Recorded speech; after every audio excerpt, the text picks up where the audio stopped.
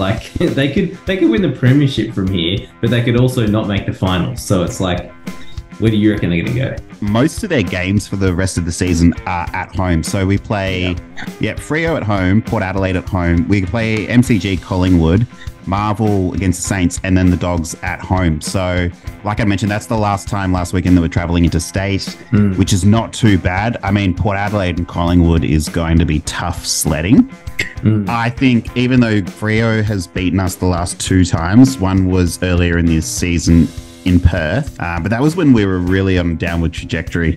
And then the time before that was actually Geelong. And I tweeted this out during the game on the weekend that I don't understand why ex Geelong players love to absolutely just destroy us in games because Lincoln McCarthy was just killing us.